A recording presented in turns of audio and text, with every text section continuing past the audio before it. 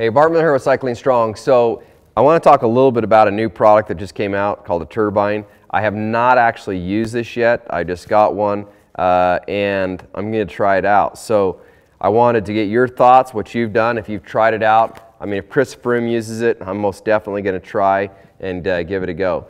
Um, so this is kind of what it looks like and uh, it goes in the nose to be able to keep your nostrils open for better breathability. So super excited to try this product out. Want to get your input. If you had tried it out, let me know what your thoughts are and uh, subscribe to the channel.